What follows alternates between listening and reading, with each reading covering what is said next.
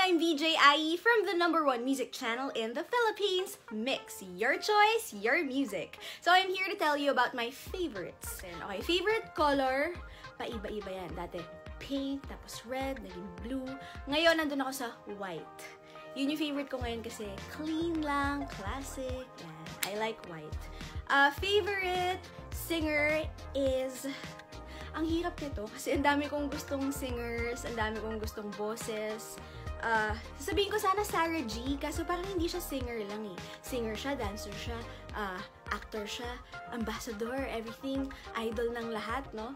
Um, so, parang hindi ko siya makategorize as singer lang. Siguro kung boses at boses lang, tsaka yung type of music na favorite ko talaga ngayon, kay Billie Eilish. Uh, love ko yung chill vibe niya and edgy na and risky na mga lyrics and videos. So yeah, I like Billie Eilish. Um, actor, favorite actor Lalayo pa ba ako? Sobrang baliw na baliw ako sa mga K-dramas ngayon.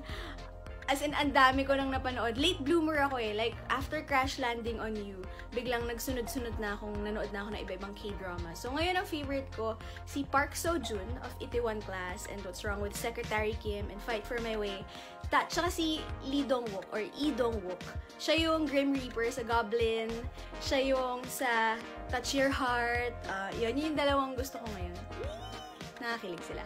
Um, favorite actress, Sino ba latest ko napanood na talagang hinangaan ko? Um, ah, I think Saoirse Ronan. Napanood ko siya recently sa Little Women. Dati, hindi ko siya masyado pinapansin. Like, alam ko lang, okay, uh, napanood lang kang awards, Lady Bird, galing, ganun. Pero, first time ko siyang mapanood talaga sa Little Women. Tapos doon ko na-gets, ah, kaya pala siya award-winning kasi ang husay niya talaga. Nag-iiba siyang tao doon. And na-appreciate ko yung mga ganong actors. Yung hindi mo siya mamukaan na, ah, kaya niya pala maging ganyang tao. Ibang-iba doon sa personality niya talaga. Iba yung pagsasalita niya doon. So, yeah, I, I like Saoirse Ronan right now. Uh, favorite movie right now, favorite ko right now yung House Moving Castle. Dati ko pa siya favorite uh, to the point na pinanood ko rin yung original Japanese version, tapos binasa ko rin yung libro. Uh, tapos ngayon kasi, bigla siyang nag-show ulit sa isang streaming site. And napanood ko siya ulit. So, bumalik lahat ng feelings ko. So, siya ulit yung favorite ko ngayon. House Moving Castle. Three wishes. Um, okay. Siyempre yung first wish ko for the world, uh, sana maging okay na lahat, happy lahat, uh, everyone's healthy, uh, and uh, every, everyone's well. Second wish ko, ito magiging ano na ako, selfish na ako. Uh, mga random wishes lang.